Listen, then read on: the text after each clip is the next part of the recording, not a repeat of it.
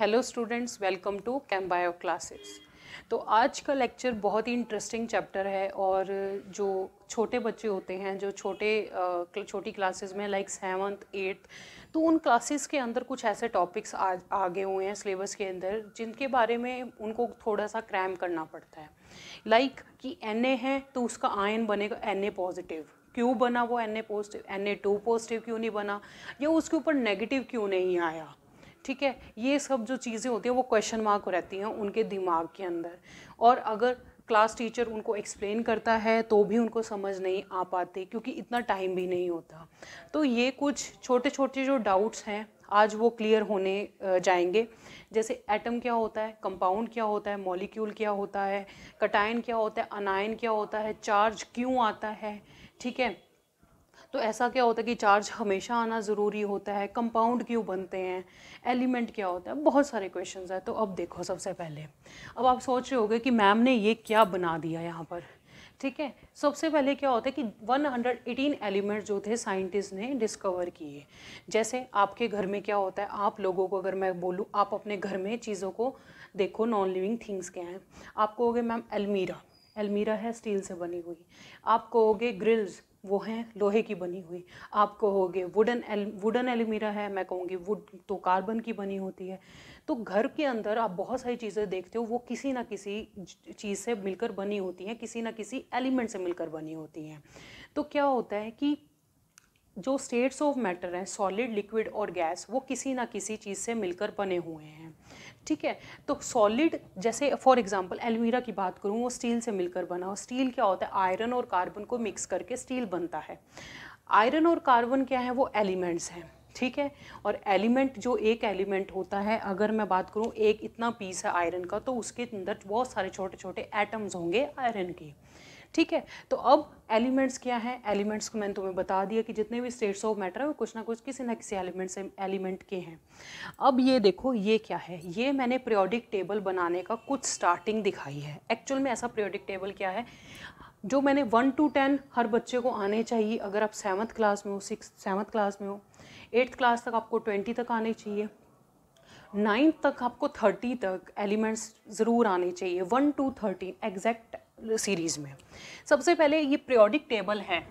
Periodic table periodic table के अंदर जब हम एलिमेंट्स को अरेंज करते हैं तो उनको, उनके एटॉमिक नंबर के बेसिस पे करते हैं मतलब उनकी नंबरिंग के बेसिस पे करते हैं।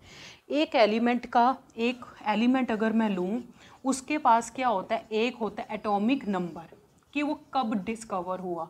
जो पहले डिस्कवर हुआ, उसका पहले नाम दे दिया, ठीक है? तो एटॉमिक नंबर उसकी नंबरिंग क्या है? दूसरा होता है एटॉमिक मास ठीक है? उसका भार कितना है? उसका मास कितना है? ठीक है? अब देखो, अब एटॉमिक नंबर के बेसिस पे हमने अरेंज किया हुआ है तो हाइड्रोजन यहाँ लिखा है। उसके बाद जो हाइड्रोजन है, ये वन है और यहाँ पर हीलियम टू उसके बाद ये lithium three four five six, seven, eight, nine, ten. अब आप कहोगे कि मैम इसको ऐसे अरेंज क्यों किया गया? ठीक है, वो एक लंबी कहानी है, इसको ऐसे अरेंज क्यों किया गया? बेसिक फीचर्स जो होता है, इनको अरेंज करने का ये मकसद है कि इनकी प्रॉपर्टीज़ आपस में मिलेंगी।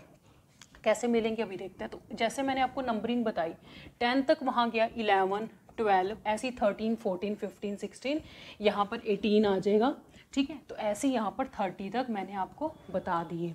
ठीक है? यहाँ पर फिलिंग नहीं होती तो इस टेबल की जो आउटलाइन है, वो मैं आपको बता देती हूँ। ये कुछ ऐसा होता है। मैं ये डॉटेड लाइन रब कर रही हूँ। ये कुछ ऐसा है। ठीक है? ये है। ये यहाँ पर अगर मैं ड्रॉ कर रही हूँ, उसके बाद यहाँ बीच में कुछ नहीं होता, ये खाली जगह है। ठीक है? उसके बाद ये जो है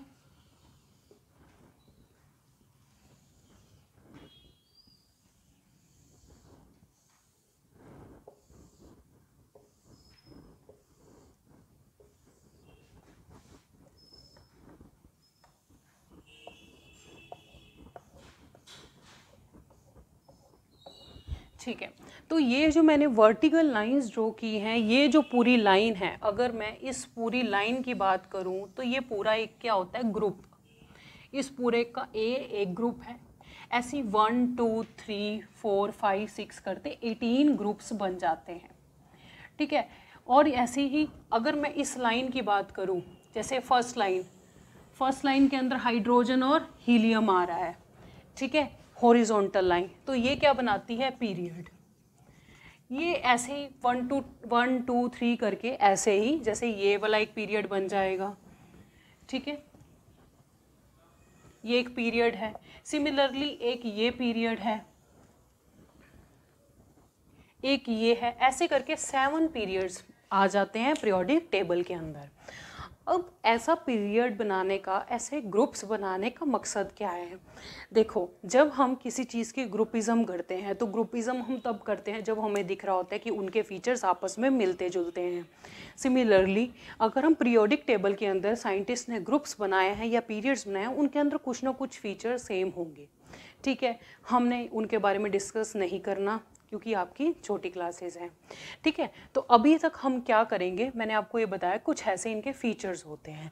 मतलब अगर मैं हाइड्रोजन की बात करूँ तो हाइड्रोजन के कुछ फीचर्स लिथियम मैग्नी सोडियम कैल्शियम पोटेशियम इनके साथ मिलेंगे। सिमिलरली बेरिलियम मैग्नीशियम इनके फीचर्स इस अपनी रो वाले एलिमेंट्स के साथ मिलेंगे। ऐसी स्कैंडियम इनकी अपनी रो वालों के साथ मिलेंगे।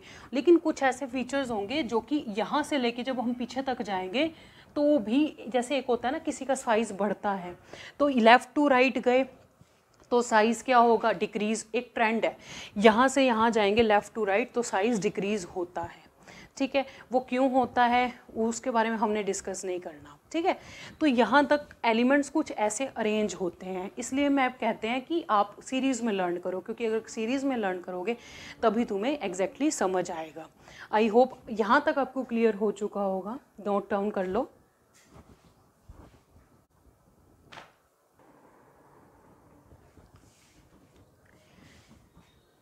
अब हम बात करते हैं एटम्स की मॉलिक्यूल्स की।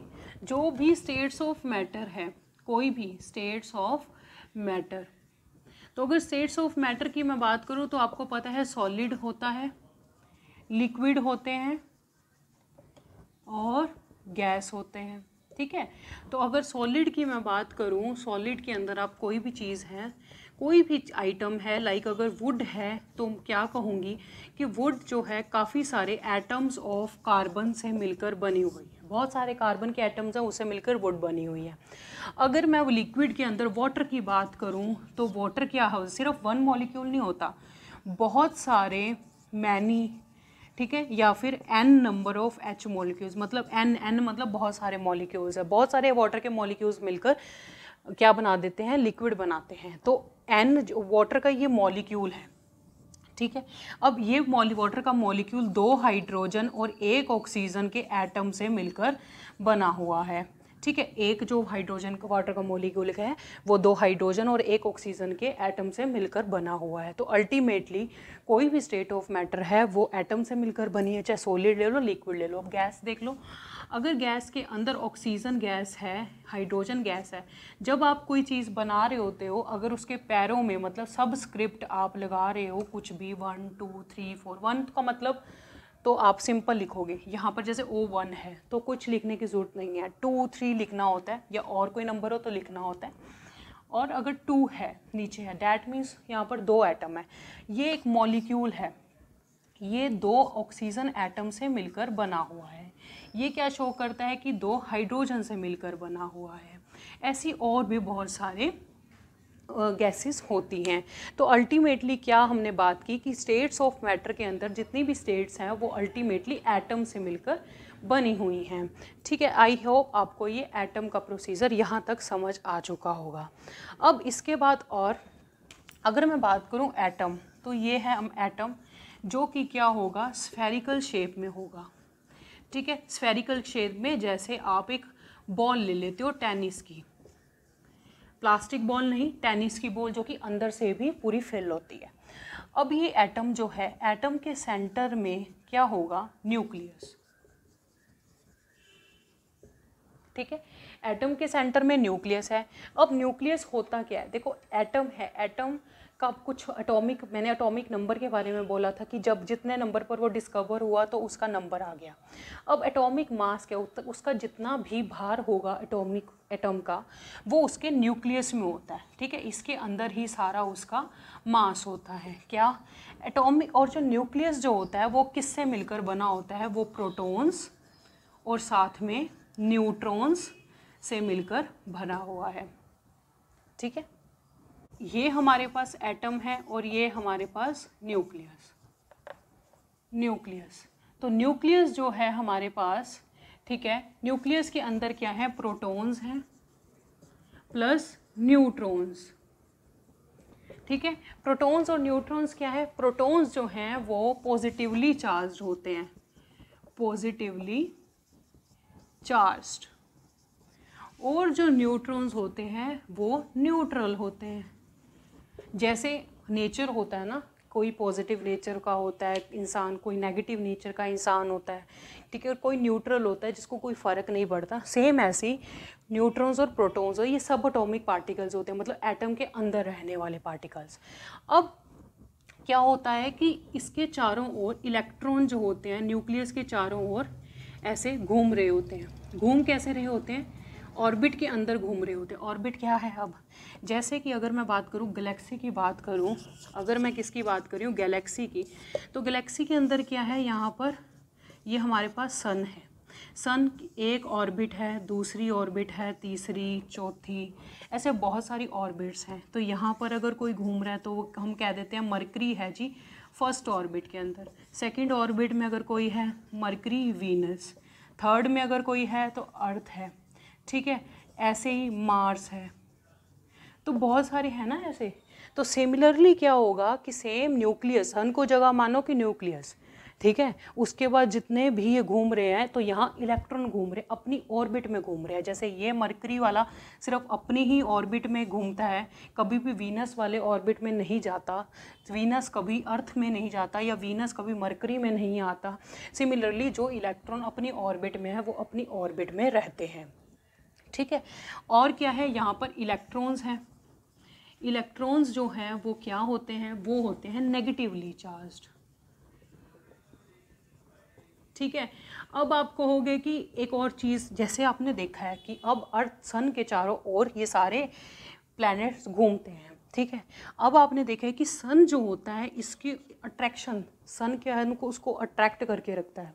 अट्रैक्ट करने से क्या होता है कि वो अपने और खींचता है, ठीक है? लेकिन घूमने की वजह से जब वो ऐसे घूम रहे होते हैं, ठीक है, मरकरी या कोई भी प्लानट है, वो कुछ फोर्स वो कुछ बाहर की ओर भी धक्का लगाते हैं, ठीक है? मतलब उसको रिपल्शन भी लग रहा होता है। जहाँ सन उसको खींच रहा होता है, वहाँ कहीं मरकरी पीछे की ओर भी जा रहा होता है। कैसे? एक चीज़ और एग्जांपल बताती हूँ। जैसे अगर आप एक अगर आप दो फ्रेंड्स ऐसे करके एक दूसरे को पकड़ के घूमते हो, उससे क्या होगा कि आप दोनों का जहाँ पर हाथ ऐसे लगा होगा, उस पॉइंट पर आपका अट्रैक्शन लग रहा होगा कि आप एक दूसरे को खींच रहे हो। ठीक है? अट्रैक्शन कर रहे हो। लेकिन आपकी बॉडी जो है बाहर की तरफ़, पीछे की तरफ़ धकेली जाती है। ठीक है? अपने आप होता है, आप खुद नहीं करते, जितनी मर्ज़ी कोशिश कर लो। जब आप ऐसे करके अच्छे से तेज़ राउंड लगाते हो अपने फ्रेंड के साथ तो क्या होता है, आप अट्रैक्शन कर रहे हो, पर आपकी बॉडी पीछे की ओर जा रही है। आगे की ओर आप आप कोशिश कर रहे हो, लेकिन पीछे की ओर भी आपकी बॉडीज आ रही है। तो सेम प्रोसीजर यहाँ पर भी होता है। मरकरी जो होता है, घूम रहा होता है, उसको सन भी अट्रैक्ट कर रहा होता है। लेकिन वो कहीं ना कहीं पीछे की ओर जा रहा होता है। जितना उसको आगे से अट्रैक्ट मिल रहा होता है, उतना वो पीछे की ओर जा रहा होता है। इसलिए वो अपनी ही ऑर्बिट में ही रह जाता है। ना तो वो सन की ओर आता है, ना ही वो पीछे चला जाता है न्यूट्रल हो जाता है उसका काम। सिमिलरली इलेक्ट्रॉन भी ऐसे होते हैं इलेक्ट्रॉन को भी न्यूक्लियस खींच रहा होता है। अब मेरी बात सुनो, जब ये न्यूक्लियस है न्यूक्लियस के पास बच्चे पॉजिटिव पार्ट है प्रोटॉन है न्यूट्रॉन को तो हम देखेंगे ही नहीं। न्यूट्रॉन तो न्यू न्यू, न्यूट्रल हैं, ठीक है? प्रोटॉन जो होते हैं, वो पॉजिटिवली चार्ज होते हैं। अब पॉजिटिव को नेगेटिव अट्रैक्ट करेगा। ऑपोजिट चार्ज हमेशा अट्रैक्ट करते हैं। कभी को, कभी भी पॉजिटिव पॉजिटिव पार्ट अट्रैक्ट नहीं करता। ठीक है? तो प्रोटॉन्स जो होंगे, वो इलेक्ट्रॉन्स को कहीं ना कहीं अट्रैक्ट कर रहे होंगे।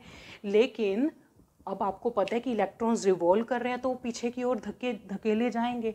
लेकिन वो अंदर तो आएँगे ही नहीं इलेक्ट्रॉन तो वो घूमते ही रह जाएँगे। ठीक है।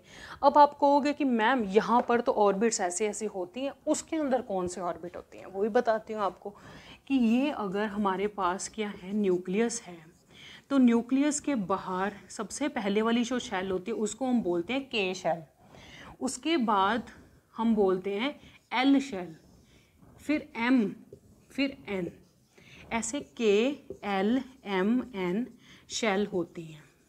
ठीक है? इनको हम शेल्स बोलते हैं। ठीक है? के एल एम एन शेल होती है। हर एक शेल के अंदर फिक्स होता है कि कितने इलेक्ट्रॉन आएँगे। तो के के अंदर फिक्स है टू इलेक्ट्रॉन ही आएँगे मैक्सिमम टू आएँगे टू से ज़्यादा नहीं आएँगे। एल के अंदर एट इसके अंदर भी एट और इसके अंदर एटीन इलेक्ट्रॉन्स ये नंबर ऑफ़ इलेक्ट्रॉन्स की मैं बात कर रही हूँ।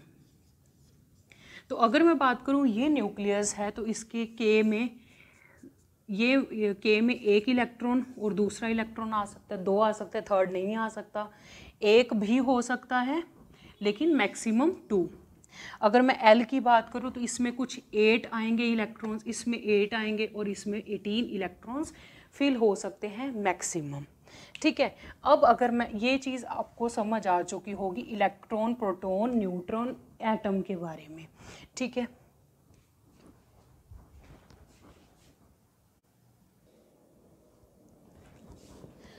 अब इलेक्ट्रॉन प्रोटॉन न्यूट्रॉन का आपको समझ आ गया। तो सबसे पहले मैं एलिमेंट्स लिखती हूँ, जो फ़र्स्ट टेन एलिमेंट्स हैं, और उनका यहाँ पर एट एटॉमिक नंबर लिख दो। तो फ़र्स्ट नंबर पे हाइड्रोजन है नंबर टू पे है हीलियम फिर lithium beryllium boron carbon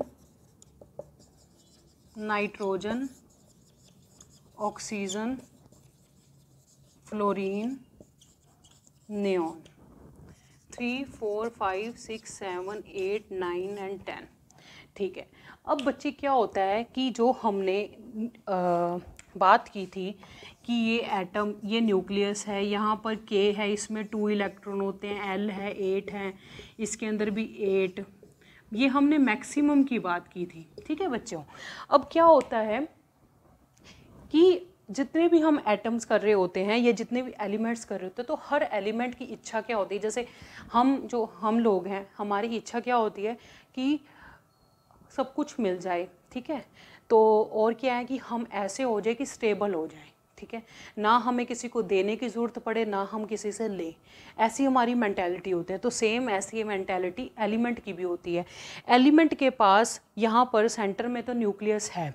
ठीक है? उसके बाद के एल एम एन शेल के अंदर वो two eight eight eight eighteen maximum कर सकता है।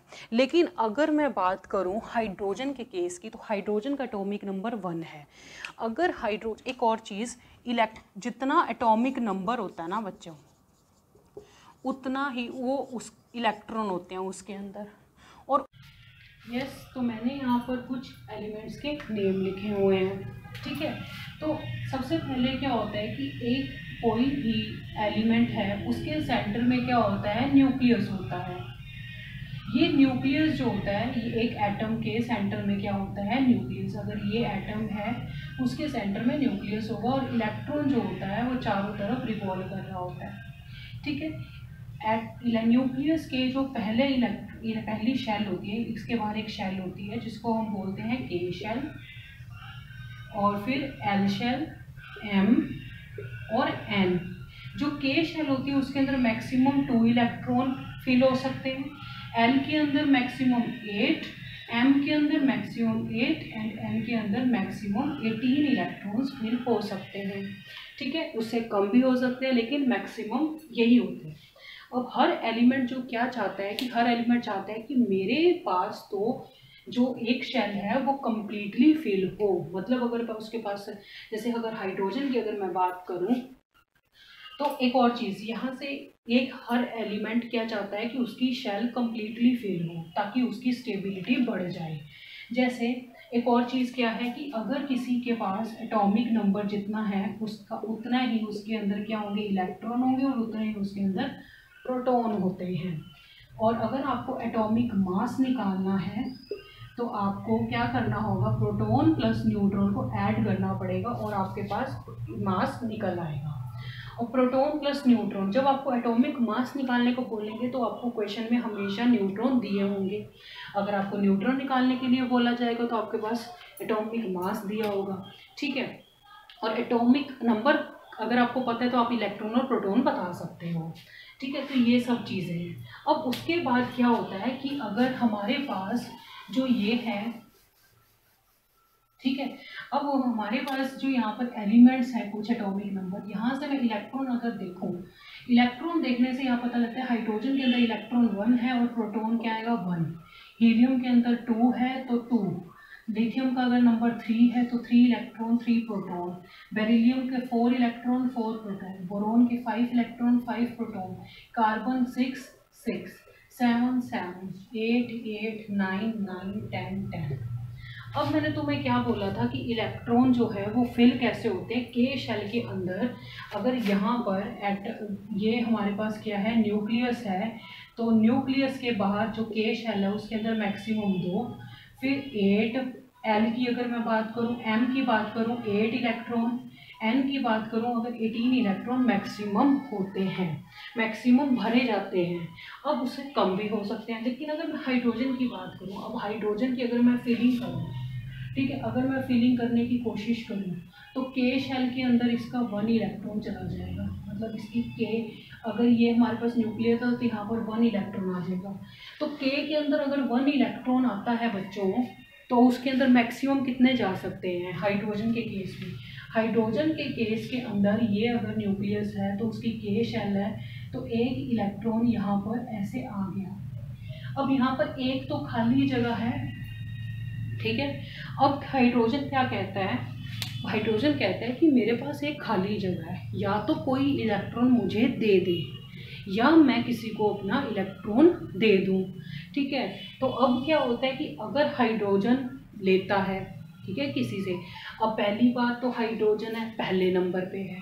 पहले नंबर पे होने का ये भी मतलब होता है कि उसका नंबर जितना नंबर कम होगा, उतना ही उसका साइज़ भी कम होगा। अब हाइड्रोजन का एक तो वो कहता है कि मेरा तो साइज़ इतना छोटा है, ठीक है। मैं एक किस्म का बच्चा हूँ, ठीक है। मैं बच्चा हूँ और मेरा साइज़ भी इतना छोटा है और ऊपर से मेरे पास जो खाली जगह है, मैं अगर किसी और से इलेक्ट्रॉन ले लूँगा, मेरे पास तो एच के ऊपर नेगेटिव चार्ज आ जाएगा। ठीक है? मेरे ऊपर नेगेटिव चार्ज आ जाएगा। अगर नेगेटिव चार्ज आ जाता है तो मैं तो स्टेबल ही नहीं हूँ। ठीक है? तो इससे मेरी स्टेबिलिटी कम हो जाएगी, ठीक है? लेकिन अगर मैं ये इलेक्ट्रॉन किसी को दे देता हूँ तो मेरे पास एच पॉजिटिव बन जाएगा। और अगर मेरे पास एच पॉजिटिव बन जाता है तो मेरी वाह वाह होगी तो मेरी प्रेज होगी कि क्यों? ये छोटा बच्चा भी है, छोटा एटम है, और उसने ऊपर से अपना दे दिया। और उससे देने से क्या होगा? जैसे ही वो अपना इलेक्ट्रॉन किसी को देगा तो हाइड्रोजन जो है, उसके न्यूक्लियस के अंदर तो ऑलरेडी प्रोटॉन और न्यूट्रॉन पड़े हुए हैं तो बाहर खाली का खाली रह जाएगा।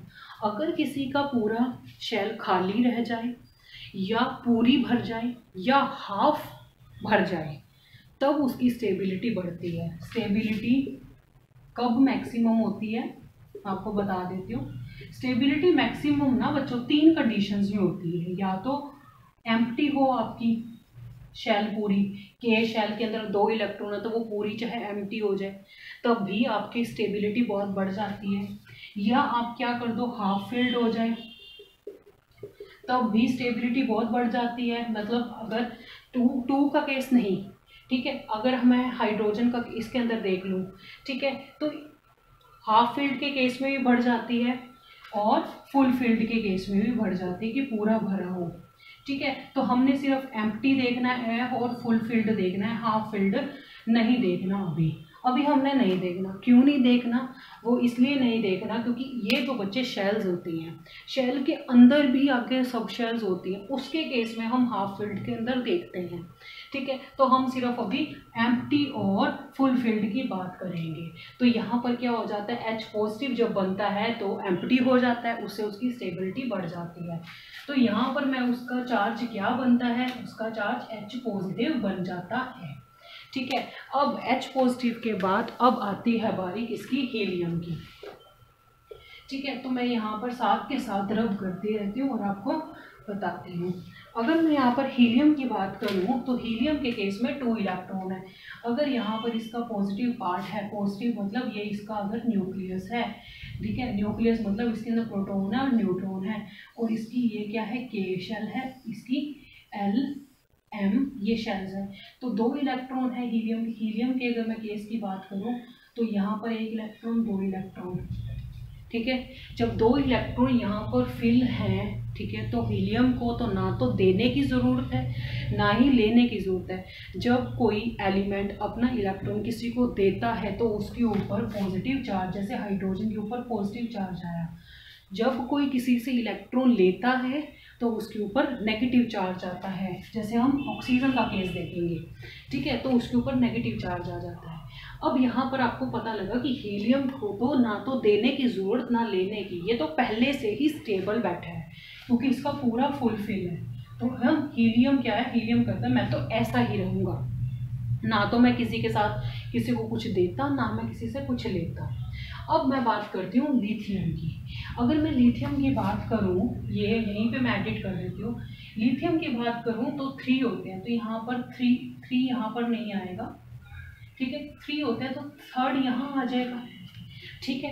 अब जब के के अंदर टू है एल के अंदर तो एट होने चाहिए ना मैक्सिमम अब यहाँ पर क्या हो गया? एक हो गया। मतलब सेवन वेकेंट स्पेस हो गए।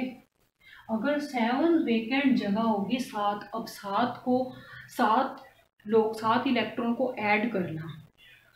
या तो अब इसको भरने के लिए आप कंप्लीट करने, हमने देखना है कि किसी तरह शैल कंप्लीट हो जाए।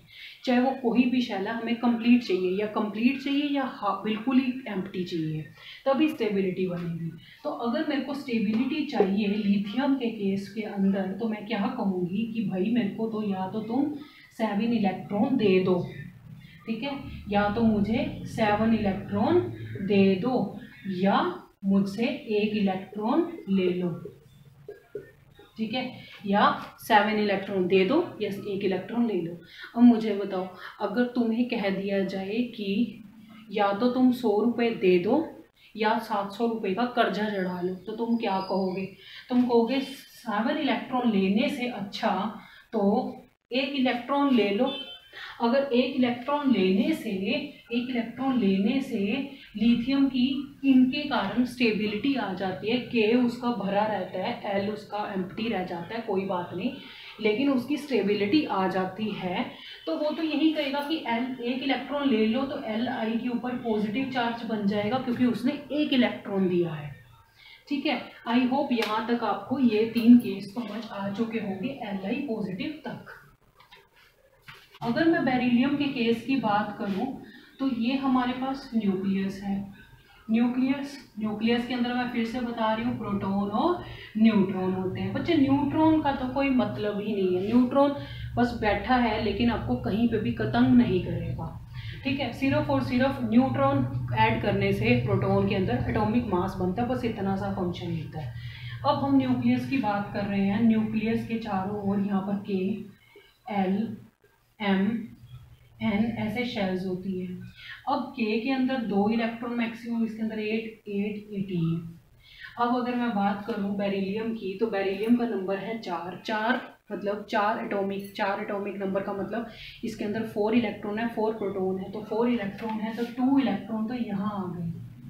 दो इलेक्ट्रॉन यहाँ आ गए। ये पूरी की पूरी फिल हो गया। के शेल पूरी की पूरी फिल अब बचे कितने? टू और बचे। मैंने यहाँ पर टू यहाँ डाल दिए। इलेक्ट्रॉन ठीक है तो यहाँ पर टू इलेक्ट्रॉन हो गए सेम अब एल जो है, वो क्या कहेगा कि या तो सिक्स इलेक्ट्रॉन दे दो, या कोई मेरे टू इलेक्ट्रॉन ले लो। तभी जाकर मैं ज़िंदा रह पाऊँगा और तभी जाकर मैं स्टेबल रह पाऊँगा। तो क्या किया?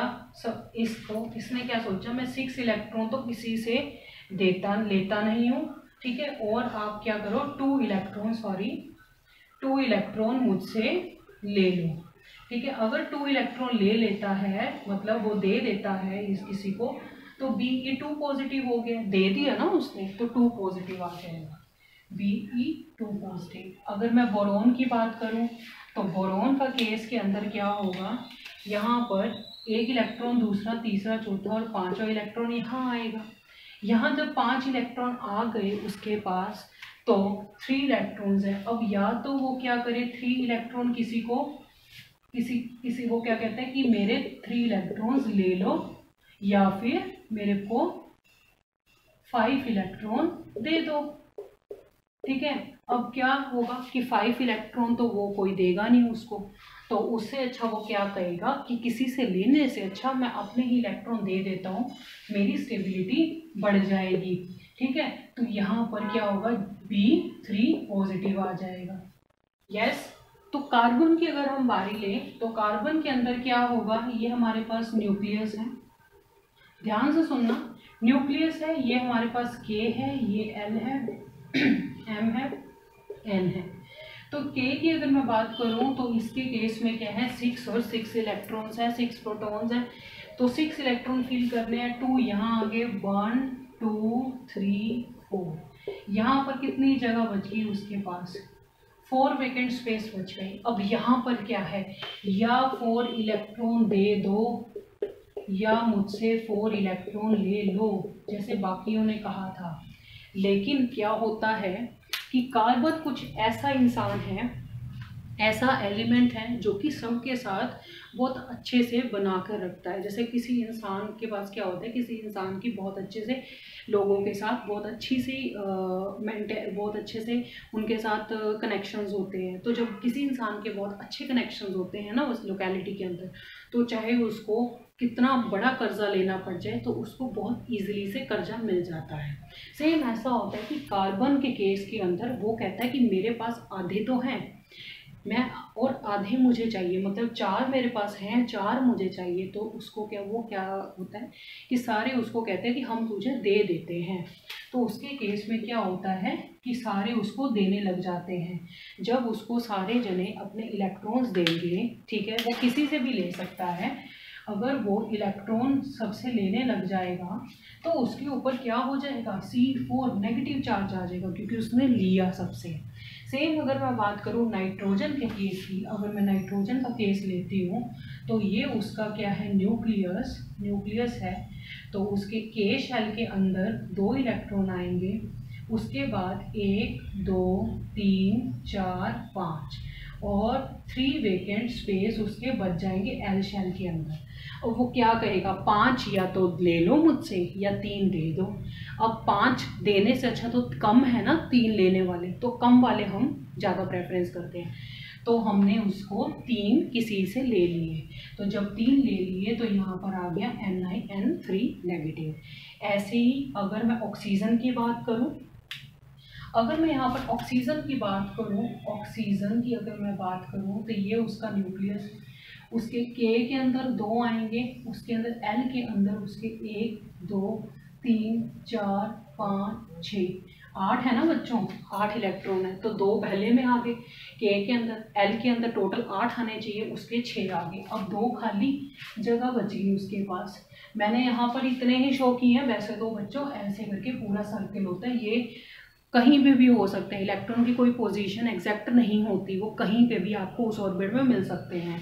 ठीक है, मैंने आपको समझाने के लिए बताया है। तो अब यहाँ पर दो वैकेंट जगह होगी एल के अंदर। अब दो इलेक्ट्रॉन लेने ज़्यादा इजी हैं एज़ कंपेयर टू कि वो छः के छः अपने डोनेट करे। तो जब उसने ऐसा किया तो ओ टू नेगेटिव आ गया। सिमिलरली अगर फ्लोरीन करेगा तो उसके ऊपर वन नेगेटिव आ जाएगा। तो वन नेगेटिव लिखने से अच्छा आप सिंपल नेगेटिव लिख लो। ठीक है, अब आप यहाँ तक नोट करो। यस तो अब अगर मैं न्यून की बात करूँ बच्चों न्यून का केस अगर आप देखो, ये हमारे पास न्यूक्लियस है। न्यूक्लियस के अंदर प्रोटॉन और न्यूट्रॉन होते हैं। K shell L shell M shell N shell तो यहाँ पर एक इलेक्ट्रॉन दो इलेक्ट्रॉन एक, दो, तीन, चार, पाँच, छ, सात, आठ। यहाँ आठ आ गए और यहाँ पर दो आ गए दो इलेक्ट्रॉन यहाँ, आठ इलेक्ट्रॉन यहाँ पर आ गए जो कि हमें चाहिए यही था। अब नियोन के पास क्या होता है कि टू एट पहले से ही है। अगर वो पहले से ही स्टेबल है, ना तो उसे देने की ज़रूरत है, ना ही उसे लेने की ज़रूरत जैसे हीलियम को था। तो ये सब ऐसे का ऐसा रहेगा। ठीक है? तो इनके जैसे अगर मैंने पीरियोडिक टेबल बनाया था तो आपने देखा होगा लास्ट रो के अंदर मैंने हीलियम को डाला था और नियोन को डाला था, ऑर्गन को डाला था, ऐसे डाले थे। तो उनके फीचर सेम थे। तुम खुद देख लो कि हीलियम ने भी किसी से कुछ लिया नहीं, ना दिया।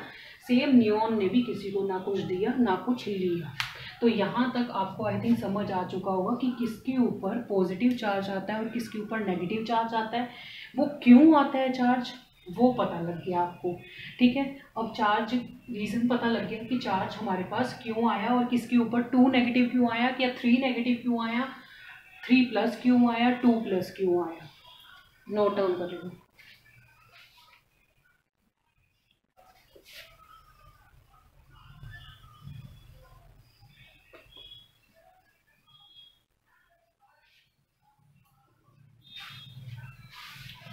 यस yes, तो हमने चार्जेस बनाने का हमें पता लग गया कि चार्ज कैसे आएँगे पॉजिटिव क्यों आएगा नेगेटिव क्यों आएगा। लेकिन हमने अब उसका चार्ज बनाकर करना क्या है उसका यूज़ क्या है वो हमने देखना है। कि जो कि आप एलिम, आप पढ़ते हो, जो नॉर्मल से आप पढ़ते हो, जैसे आपने वाटर पढ़ा वाटर को आप लिखते हो एच टू ओ कभी आपने एच ओ टू नहीं लिखा, ठीक है? आपने हमेशा उसको एच टू ओ लिखा है। आप अगर कार्बन डाइऑक्साइड की बात करो तो हम उसको कैसे लिखते हैं? सी ओ टू ऑक्सीजन की अगर मैं बात करूँ तो हम लिखते हैं उसको ओ टू ठीक है? या मैं अगर किसी और की बात करूँ एल्यूमिनियम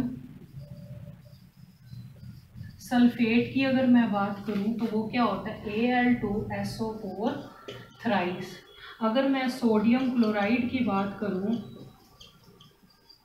तो वो क्या होता है? एन ए सी एल ठीक है? वन बाय वन इन सब के बारे में हम डिस्कस करते हैं।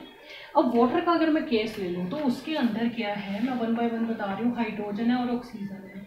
हाइड्रोजन के अंदर आपको पता था एटॉमिक नंबर वन था, और इसके अंदर एटॉमिक नंबर को हमेशा हमेशा हम सिर पर बैठाते हैं, यहाँ पर सिर पे लिखते हैं उसके। चाहे आप इधर लिख लो, चाहे आप उधर लिख लो, लेकिन इसे लिखना सिर पे है। ठीक है? अब एटॉमिक नंबर है, इसका वन और इसका एट है। तो जब मैंने इसकी फिलिंग की थी तो यहाँ से मुझे पता लगा था, ये एच पॉजिटिव बना देता है, ये ओ टू नेगेटिव बना देता था ये ठीक है? जब वो एच पॉजिटिव बना देता था, ये ओ टू नेगेटिव बना देता था, अब क्या होता है बच्चे जो एच है, या ओ है, वो तो ऐसे ही पड़ा हुआ है। जब इनको किसी के साथ बॉन्डिंग बनानी होती है ना, जैसे मैंने तुम्हें बोला था कि हाइड्रोजन ने एक इलेक्ट्रॉन दे दिया ऑक्सीजन ने दो इलेक्ट्रॉन किसी से ले लिए, उसके ऊपर चार्ज आ गया, और वो किसी ना किसी को तो देगा, किसी ना किसी से तो लेगा इलेक्ट्रॉन ठीक है ना? जब वो किसी ना किसी को देगा, किसी ना किसी से लेगा तो उस लेन देन के चक्कर में बॉन्ड बन जाता है। जैसे अब हाइड्रोजन का केस लूँ तो हाइड्रोजन ने अपना एक एक हाइड्रोजन था हाइड्रोजन ने अपना एक इलेक्ट्रॉन दे दिया। एक इलेक्ट्रॉन दिया और क्या बन गया? एच पॉजिटिव आयन बन गया। लेकिन अगर मैं ओ की बात करूँ ओ ने क्या किया? दो इलेक्ट्रॉन ले लिए थे और उसका क्या बन गया था? ओ टू नेगेटिव बन गया था। ठीक है? एक सिंपल सी रिएक्शन होती है, कोई भी केमिकल रिएक्शन का एक प्रोसीजर होता है कि सबस्ट्रेट सबस्ट्रेट रिएक्शन करने के बाद क्या दे देते हैं? प्रोडक्ट्स या फिर इसको हम रिएक्टेंट्स भी लिख सकते हैं। ठीक है? रिएक्टेंट्स या सबस्ट्रेट रिएक्शन करने के बाद प्रोडक्ट दे देते हैं। सेम हाइड्रोजन का प्लस कैसे बनता है? इलेक्ट्रॉन देने के बाद ऑक्सीजन का टू प्लस ऐड हुआ। जब दो इलेक्ट्रॉन उसके पास उसको मिले ओ टू नेगेटिव आ गया था। अब तुम मुझे बताओ खुद ही कि हाइड्रोजन एक हाइड्रोजन तो एक दे सकता है, लेकिन ऑक्सीजन को तो दो चाहिए। तो दो हाइड्रोजन अगर आ जाते हैं तो अगर दो हाइड्रोजन मिल जाते हैं तो वो कितने इलेक्ट्रॉन देंगे? दो इलेक्ट्रॉन देंगे ना? अगर दो हाइड्रोजन आ जाते हैं, दो इलेक्ट्रॉन देंगे और दो एच पॉजिटिव आयन देंगे। और दो जो ऑक्सीजन जो है, वो ये वाले दो इलेक्ट्रॉन का यूज़ करके क्या करेगा? ओ टू नेगेटिव बना देगा। ठीक है? इसलिए उनका स्ट्रक्चर ऐसा आ जाता है कि ओ और यहाँ पर एच और यहाँ पर एच आ जाता है कि एक ऑक्सीजन के साथ दो हाइड्रोजन आकर अटैच हो जाते हैं। ठीक है? यहाँ पर अब आप समझ आ चुका होगा कि एक इलेक्ट एक हाइड्रोजन तो एक ही देता है इलेक्ट्रॉन दूसरा हाइड्रोजन एक और इलेक्ट्रॉन देगा तो ऑक्सीजन दोनों की इलेक्ट्रॉन लेगा और मॉलिक्यूल बना देगा। ठीक है? तो यहाँ पर था ये H2O की कहानी। ठीक है? आई होप आपको समझ आ चुकी होगी। अगर आपको कोई भी डाउट है तो कमेंट बॉक्स में लिख देना, आपकी क्वेरी सॉल्व हो जाएगी। ठीक है? उसके बाद हम आगे के एग्जाम्पल्स के बारे में बात करते हैं। यहाँ पर आपको वाटर आप ऐसे भी बना सकते हो, लेकिन पूरी कहानी बताने का मकसद यही था कि आपको समझ आ सके कि एक्चुअल में हुआ क्या। शॉर्ट फॉर्म में आप यहाँ से ऐसा बना सकते हो। तो अगर मैं यहाँ पर A L two S O four thrice की अगर मैं बात करती हूँ तो ए एल जो होता है, उसके ऊपर थ्री पॉजिटिव चार्ज होता है। ठीक है? और अगर एस ओ फोर की बात करूँ तो उसके ऊपर टू नेगेटिव चार्ज होता है। आप इसको क्रॉस मल्टीप्लाई करो। ए एल टू नीचे आ जाएगा एस ओ फोर और ये थ्राइस ब्रैकेट का मतलब होता है कि ये चार्ज जो है, ये चार्ज जो है पूरे के ऊपर है। ठीक है? तो ये थ्री मोलिक्यूल्स ये सबके हैं। उसके बाद अगर मैं बात करूँ सोडियम क्लोराइड के केस की तो एन पॉजिटिव होता है सी एल नेगेटिव होता है। जब आप इसकी क्रॉस मल्टीप्लाई करते हो तो एन ए सी एल आ जाता है। ठीक है तो हमेशा प्लस और नेगेटिव के बीच में ही बॉन्डिंग होती है। तो उसके बाद अगर मैं बात करूँ ऑक्सीजन टू ऑक्सीजन की तो ऑक्सीजन की अगर मैं बात करूँ, एक ऑक्सीजन के अंदर आपको पता है टू इलेक्ट्रॉन फ़र्स्ट में चले गए सिक्स इलेक्ट्रॉन नेक्स्ट वाले में चले गए सिमिलरली टू इलेक्ट्रॉन जो फ़र्स्ट के शेल में गए थे सिक्स इलेक्ट्रॉन्स आपके एल शेल में गए थे। ठीक है? अब क्या है? उसको भी दो इलेक्ट्रॉन चाहिए, इसको भी दो इलेक्ट्रॉन चाहिए। लेकिन हमने बनाना क्या है? ओटो एक दूसरे से लेंगे वो। अब एक दूसरे के साथ वो क्या करते हैं? वो करते हैं कि यार, ऐसा करते हैं, हम दोनों ना शेयर कर लेते हैं। ठीक है? दो इलेक्ट्रॉन हम शेयर कर लेंगे। अगर हम शेयर करते हैं तो वो चीज़ तेरे पास भी होगी, वो चीज़ मेरे पास भी होगी। तो ये शेयरिंग करने के बाद क्या करते हैं? वो ऐसे करके दो बॉन्ड बना लेते हैं। वो करते हैं, हम दो इलेक्ट्रॉन आपस में शेयर कर लेते हैं। जैसे हमने वाटर का बनाया था ना वाटर कैसे था? एच टू ओ एक एच ने एक बॉन्ड बनाया। जब एक इलेक्ट्रॉन देता तो एक बॉन्ड दो देगा तो डबल बॉन्ड आ गया। ठीक है? तो अगर मैं यहाँ पर बात करूँ A L two S O four thrice की ए एल ए एल दो थे। यहाँ एक एस था। ठीक है? यहाँ पर एक एस ओ फोर एक एस ओ फोर यहाँ लगा हुआ है, एक एस ओ फोर यहाँ लगा हुआ था और एक एसओ फोर यहाँ लगा हुआ है। ठीक है? तो ये हमारे पास कुछ ऐसा स्ट्रक्चर था। और अगर मैं एन की बात करूँ, एक एन दूसरे CL के साथ ऐसा जुड़ा हुआ है। ठीक है? अगर ये ऑक्सीजन आ गया, अब अगर मैं सी की बात करूँ बच्चे सी क्या है? कि सी जो है वो भी डबल बोन्ड ओ के साथ बना देता है। ऑक्सीजन जो होता है ना, वो ज़्यादातर डबल बोन्ड ही बनाता है सबके साथ। ठीक है? अब यहाँ पर ऑक्सीजन ने डबल बॉन्ड बनाया। कैसे? कि जो कार्बन था, उसके ऊपर क्या था? चार नेगेटिव चार्ज थे। मतलब चार नेगेटिव चार्ज क्यों था? क्योंकि जब उसने चार इलेक्ट्रॉन लिए थे, तब उसके बाद चार्ज आ गया था। वैसे कार्बन के केस में क्या होता है? दो ही, दो के के अंदर थे और फोर एल के अंदर थे। ऑक्सीजन के केस के अंदर क्या था? दो के के अंदर थे सिक्स एल के अंदर थे। इसको दो की रिक्वायरमेंट थी, इसको फोर की रिक्वायरमेंट है। ठीक है? अब एक कार्बन को चार की रिक्वायरमेंट है, वो चार इलेक्ट्रॉन कहाँ से मिलेंगे? ये ऑक्सीजन ने इसको अपना एक इलेक्ट्रॉन दिया, इसने भी एक इलेक्ट्रॉन इसको दिया। तो एक इसने, इसको चार चाहिए कार्बन को। ऑक्सीजन ने क्या किए?